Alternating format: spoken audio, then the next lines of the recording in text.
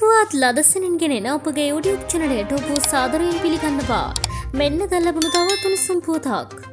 ලංකා කනිජතෙල් නීතිගත සංස්ථාව විසින් ඉන්දන පෙරුම්හල්වල අලවියට සාපේක්ෂව ගෙවසරේ ගෙවන ලද මටමෙන් කොටසක් බදක් ලෙස තැන්පත් කරන මුදලෙන් අයකරගත හැකිහොත් ඉන්දන ඇනෝම් කිරීම නතර කිරීමට කනිජතෙල් බෙදුම්කරුවන්ගේ සංගමය තීරණය කර තිබෙයි.